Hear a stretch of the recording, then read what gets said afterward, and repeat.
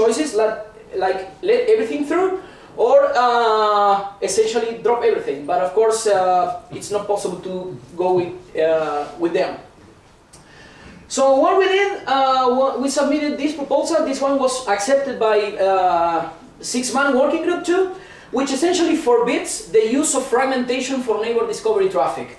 Which means that now for neighbor discovery, address, confi um, uh, address configuration, SLAAC, and so on, you cannot have fragmentation there. So that uh, even when that's a very small change, if you want, it means that now you cannot have the packets split into multiple fragments, and that means that it's easy to, for example, not just block uh, those packets at the layer 2 device, such as a switch, but it's also easy to monitor neighbor discovery traffic in the same way that we used to do that with, with ARP. This one was adopted by the six-man working group uh, like a week or two weeks ago, and the idea of what I would expect is to have this one published as an RFC this year. Uh, this one, well, we have talked about this one quite a lot. Uh, essentially, router advertisement guard was something very similar to DHCP snooping. So the idea is that in IPv6, um, auto configuration is usually done with uh, some ICMP version 6 messages that are called router advertisements, okay, or the or RA. And uh, router advertisement guard is about filtering those router advertisements at the layer 2 device. So essentially, if you have a switch with, let's say, 8 ports, I can tell the device, okay, I only want to allow router advertisements on this particular port. And uh, if the device receives a router advertisement on any other port, it will filter those packets.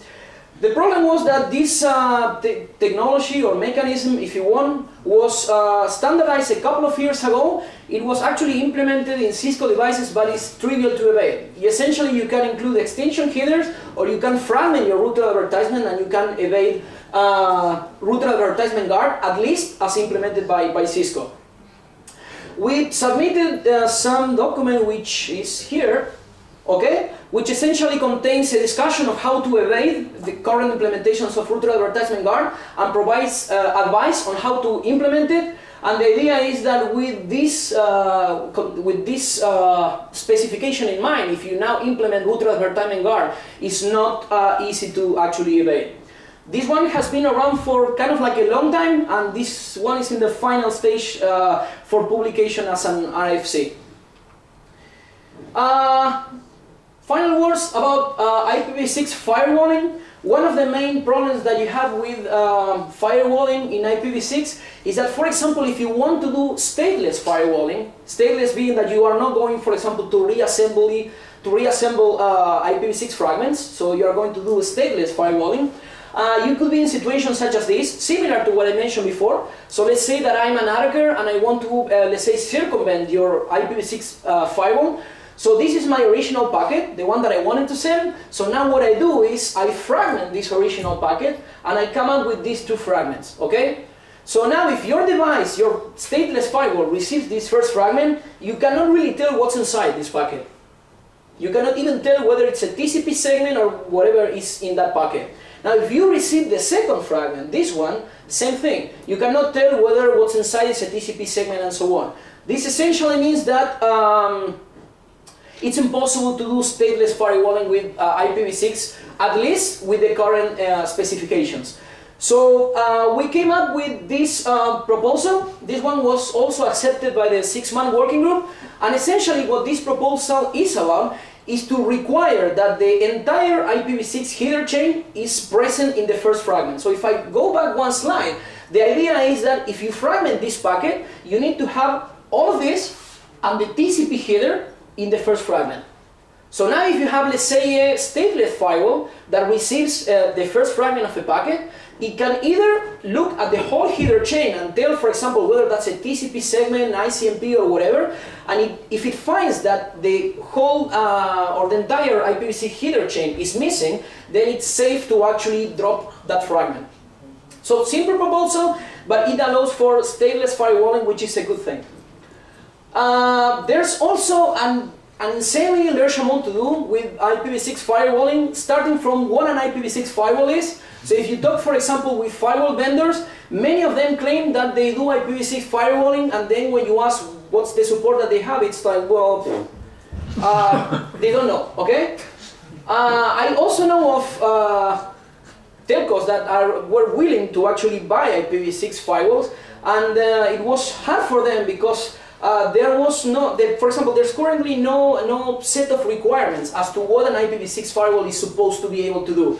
So uh, there's a lot of work to do in this area. So this is just what we did with this oversized header chain or those split packets. It's just like a, like a very, very small piece of all the work that needs to be done.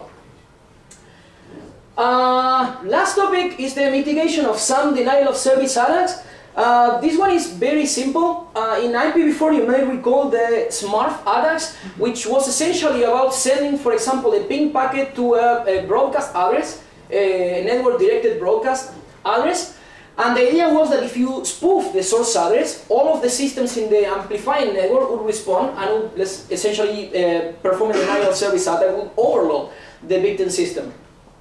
IPv6 was supposed to remove all of that from the specification, so in theory it wasn't possible to do smurf attacks with IPv6, but we found that there are, other, uh, there are IPv6 options of this type, this time meaning that, well, they have to start with one zero and then you can put whatever you want here.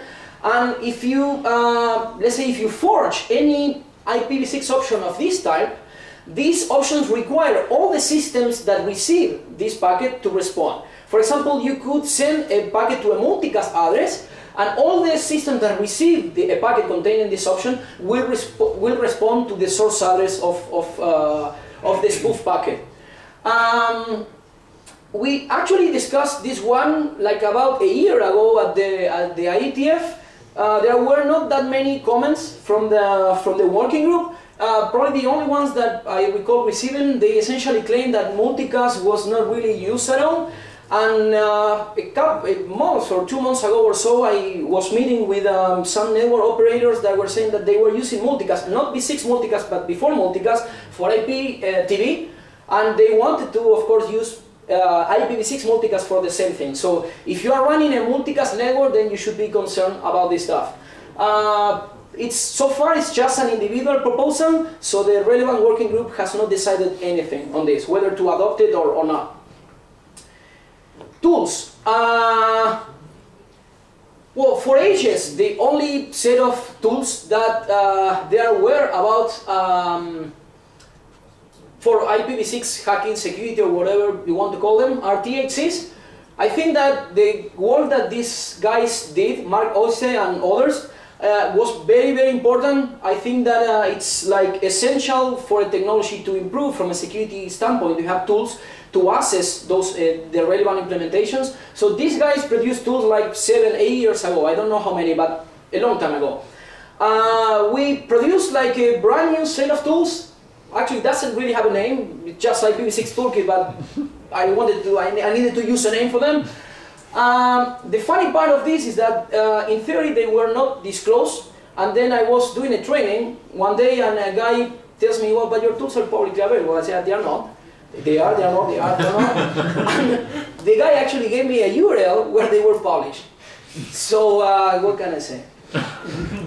Uh, probably the bottom line is that at the point in which uh, something is sent to, let's say, more than 10 people, it's actually hard to control whether what, what happens with the tool. But the thing was that we didn't actually disclose the tool, but one of the, let's say, vendors, if you want, that received the tools to actually assess their own stuff, not to, uh, let's say, to post them on the internet, well, they decided otherwise, apparently. And, um, well, the tools are now online. I didn't include a link. Uh, I need to update this. Uh, but uh, so far, it's funny because uh, since in, I'm not yet allowed to disclose the tools, uh, so the tools are in some other site that has nothing to do with me because I didn't disclose them essentially. So they are like a WikiLeaks type of thing so far. Uh, that, what's nice probably about the tools is that uh, they can be run on Linux and BSDs. If I recall correctly, THC tools can only run on Linux. Of course, you ha can have a VirtualBox and so on. Well, this was like like a kind of painful job, but we ported them to at least Linux and BSDs, and uh, if I ever get access to a Mac OS box, I will try to port them to Mac OS too. Uh, conclusions. Um, essentially, if you look at IPv4 implementations, let's say more than 10 years ago, you kind of like find the same type of problems that we are currently finding in IPv6 implementations. So possible explanations for that. One of them is that we didn't learn the lesson from IPv4, so we are just essentially doing the same thing. Uh, another possible one is that uh, are different people working on IPv6 than uh, there was at the time working on IPv4. So essentially the guys now doing these type of problems or introducing these problems in v6 implementations, essentially they were not doing before 10 years ago or so. Another possible explanation is that uh, if you look at the protocol specifications, in many cases they are kind of like ambiguous. So from my perspective, they should be they should say more clearly how you should implement some things. And finally, the other one is that probably it's a mix of all the above. So there's work to do in the protocol specifications, different people working on them, and also because we didn't learn the lesson from, from before. There's lots of work to be done in IPv6 security in terms of everything. Uh, there's still a lot of work to do when it comes to tools, uh, scanning tools, anything you can think of. So that's one thing. Uh, there are, we need uh, lots of improvements on IPv6 implementations. From my perspective, we are in the case of v6 implementations at the same point in which we were with before, like 10, 15 years ago. So the implementations are not really mature. And um, bottom line, probably if you paid attention to the rest of the presentation, your conclusion is going to be like, I'm not going to deploy this at all, right? But uh, the thing is that we need IPv6. Nobody deploys v6 because they love it. Uh, probably the, the best quote that I got for this was um, a guy at the conference said that IPv6 was like a shotgun marriage. I'm probably, well, it's like kind of like a politically incorrect thing, but the guy said that this is like a boyfriend and a girlfriend where the girlfriend gets pregnant and, well, okay? Uh, so the thing is that there's something to be done about it. Uh, and we need IPv6, okay? Um, one of the things that I have tried to do was not to just focus on problems. It's not that discussing problems is not important, but uh, it's, we also need to do something about it. If you just tell people, uh, well, the, there, are all these problems with v6, well, but they need to deploy v6, so what should we do about it? So the idea was to try to improve the current state of affairs. Questions? Yeah. Well, with all these problems you've shown, and possibly a lot more when when uh, IPv6 is globally deployed, uh, how do you see this this deployment? Are we going to have really insecure uh, networks, or are we, or is this going to be extremely delayed? Or do you uh, see something in the middle that most problems can be solved quickly? Because, uh, for instance, you talked a lot about uh, proposals for RFCs and RFCs, and and my perception is from the proposals to the RFCs and to the vendors really uh, implementing this, this solution will take some time. Yeah. Uh, the question is, do we have enough time for this to be ready for deployment, or are we going to have to deploy before it's ready? I think that that depends on probably in which part of the planet you are. Uh, for example, if you are in Asia, you are in trouble. uh, they have already run out of addresses. They are deployed and they need v6 now, so they need to deploy whatever they have, essentially.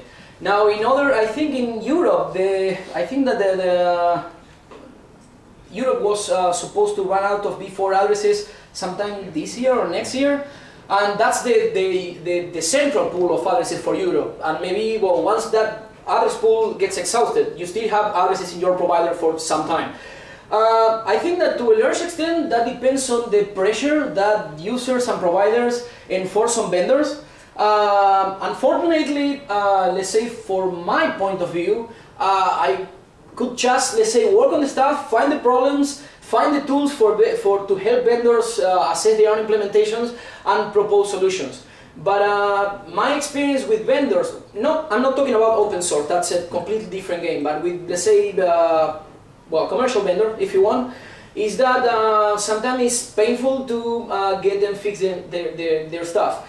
Uh, one thing that I found, which I don't really, I don't know if I have an explanation for that, but sometimes, for example, I had many experiences in which I went through the official channel for, um, let's say, um, reporting problems, and then that goes nowhere. and then at some day in some conference you meet the actual guy that is working on the implementation, you talk with the guy and you say, well, you have this problem. yeah, I should fix that, and in a week, that's fix it. So that's like an internal communication problem, which uh, probably is, uh, has to do with those kind of vendors being so large, right? Um, I personally think that one of the biggest issues, other than that of, uh, let's say, uh, problems that have to do with uh, the, the protocol specifications, actually have to do with the actual people that is deploying the protocols. So you may have some technology, doesn't matter whether that's V6, V4, V8, whatever, but uh, if the personnel that is deploying that is not trained, well trained to do that, then no matter how good or bad the technology is, you are not going to have good results.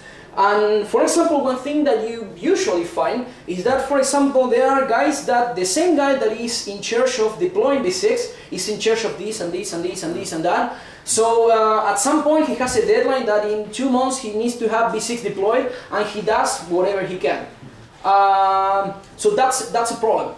Uh, I know, for example, I'm not going to say the name, but uh, there was uh, a huge ISP, and there were these guys from uh, the data center that for some customer they needed to deploy V6, so they go to the security staff and they ask, well, do you have any best practices for IPv6? No, okay. And, and they just deploy whatever they could, okay? So that's a problem that, that you find. And what is going to happen, I don't know. That depends on, on the region. But my general perspective is that uh, in most cases, people is waiting for too long.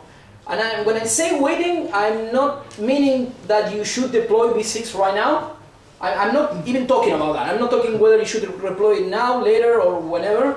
But I'm arguing that you should at least have some plan for whatever a plan means. And for example, you should train yourself, even if it's just about setting up a network in a lab and just, let's say, dedicating a few hours every day to test stuff.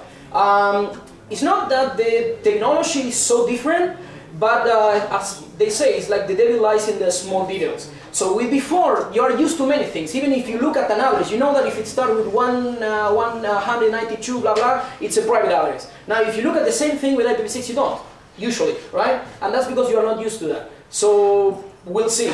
And another big problem with, uh, I'd say, with the resulting security of, of the emerging V6 deployments is that besides the personnel and besides the protocols and implementations themselves, if you look at security devices, for example, let's say that you have a V4 network running and you have an IDS and you have a firewall and so on, you know what the device can do, you know how to operate the device and so on. Now, let's say that you now want to enforce the same policy on, but on V6. Uh, in many cases, you don't have the same level of support, so if you were doing this or that other type of filtering, maybe you just cannot do it on V6, and that's up to you what you do. Uh, then there's also the case that, for example, there are some, the, the, the, level of support might be different. So it has, the V6 firewall that you have has some level of, of V6 support, but not the same level as before. In other cases, they do the same thing, but um, for example, the device has implements the V4 support on hardware, but implements the V6 support on software. Now, depending on the type of network that you're running, that might or might not be an issue. But in some cases, uh, you buy a device which mm, it's supposed to have V6 support, but then the performance that you get for V4 and V6 is completely different. So there's like a missing piece when it comes to security devices. Apart from how trained the personnel is, a part of how good or bad the protocols are. But you need actually actual devices that allow you to enforce security policies. And uh, that's a missing piece in most cases for, for, uh, for V6 devices. There was another question there? Uh, do you know any major incident that happened? Because the last, uh, last two June, 6 Junes, there were IPv6 day and, and the last one was the IPv6 launch day. And -huh. there, there, are a lot of services that are on on IPv6 and um, some Europe ISPs that have uh, dual stack on their network uh -huh. already. Do you know anything? Well, I don't, but there is another related problem that in most cases, most companies don't have V6 visibility. So I don't, but the companies don't know either. So they are monitoring V4 traffic, but they don't monitor V6 traffic. So uh, it's not that I, it's, it's, not only me that doesn't know, but in many cases, guys sometimes running these six networks, they don't, they are, they don't have the same visibility of traffic as they do for, for V4. I do recall, some, but that was like low-level stuff. Uh, years ago, for example, there was a guy that had reported that on, on Gmail, uh, you had a, a log of the V4 addresses from which you had connected over time, but if you connected to Gmail over V6, uh, that log wasn't there, for example. And that's a low level stuff, that's like a, I mean, you probably wouldn't care about that. But what I'm saying is that sometimes, well, you may, there may be subtle issues, and it's not just on the, let's say, the network stuff, but sometimes on the application. There are known cases, I don't recall off the top of my head, but for example, applications crashing because they were not prepared to handle longer addresses.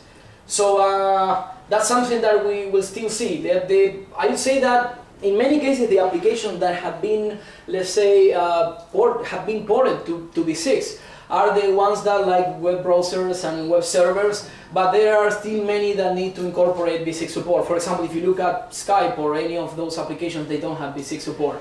So uh, I don't really know what's going to happen, but uh, when it comes to incidents, that's what you were asking about. Uh, there's, uh, I, I, think it was Arbor Networks, they published uh, like a kind of poll that they did for uh, to different network operators uh, last year, and one of the main concerns that they had was that they didn't have V6 visibility. So they were monitoring uh, V4 traffic, but they were not monitoring V6 traffic. There was also um, there was a presentation about V6 security at the conference in, in Greece this year. Uh, the slides are publicly available, and one of the things that these guys tested was they, for example, they tried to connect to port 22 of different systems, and for example, in the IPv4 case, it was blocked, and in the IPv6 case, it was allowed right? Uh, that is quite usual. Yeah, yeah. Sometimes because people may, yeah. Sometimes in some cases because maybe people just forget to do that, but in other cases it might have to do, as I said, with the type of support that you have in your security devices. And I, I didn't discuss that on, on, on this um, presentation because it, well, it assumed like the IPv6 security basics, but um, one of the, let's say, major issues uh, that you have with V6 is that essentially you are running two networks at the same time, two overlapping networks at the same time. So the same device is running a V4 network and a V6 network, and you need to enforce policies and controls on, on the two of them. Uh, there's also the same thing, for example, we were talking about firewalls, and uh, for example, there are vendors, uh, firewall vendors, uh, for which uh, you need to configure the V6 policies completely in a separate way from the V4 policies. There are other vendors that are trying to integrate that. So if you say, if let's say you just want, if you filter port 22, for example, well, you just tickle a box there and they filter both V6 and V4. Uh, so that, that's a lot of work to do on, in that area and also lots to see. Any other questions? Yep. Uh, firewalls. And uh, I want to ask uh, how vendors are working on uh, intrusion detection systems. Because if I'm not wrong, IPsec it's, it's as a mandatory IPsec layer over the. I the short answer that I could give to that one is forget about IPsec. I mean, this has been like a marketing claim for IPv6. It's going to be exactly the same about uh, with IPv6. I could give you this short story that um, a couple of years ago, about one year ago, I was delayed with my report. So I should have published my report like, let's say, a couple of months ago. So I, I had like lots of alerts on Google on V6, V6 security, V6 attacks, everything. And one day I received this alert of a big report that was published. I'm not going to tell which guys, but it was like a large report. And I, well, I'm not going to say what I saw, but essentially I say I'm in trouble, let's say. I was delayed and I saw that these guys had already published like a similar thing before me. And when I look at the report, essentially it was something like 90 or 100 patients in which the guy were thinking of every possible way in which IPsec was going to be used for V6. From my perspective, you are not going to see an increased use of IPsec, for, at least for the general case. You are not going to use IP, well, the, um, of course the problem is the same problem that you have in, in, in V4. Uh, in some cases it's undesirable. For example, you may not monitor the traffic, but also at the same time you have the problem that you need a PKI, you need to exchange the keys. So that might be something that is doable for a VPN or something, or for a BGP or a peering session or whatever, but it's not possible, it's not generally possible for some random communication. So my, my short answer to the IP IPsec thing is forget about it. It's going to be the same thing as uh, IPv4. And actually, the IETF last year removed the requirement of uh, IP, IPsec mandatoriness for, for V6. The reason being that nobody cared about that. So what they did was, okay, we're trying to enforce this, okay, nobody's paying attention, okay, let's change the requirement, and now everyone is compliant, right? Uh, any other question? Well, uh, if you have any questions, this is my email address. We also have a mailing list for IPv6 hacking. Uh, probably the interesting thing about the mailing list is that you have people both from the like the security community and also standards community and so on. So that's a nice mix. And so far, you don't get the annoying automatic responses that you get when you post to Bugtraq. So that's like a feature of the of the mailing list. So if you have any um, any questions, feel free to let's say talk about or ask about the talk, ask after the talk, or or drop me an email. Okay. So thank you.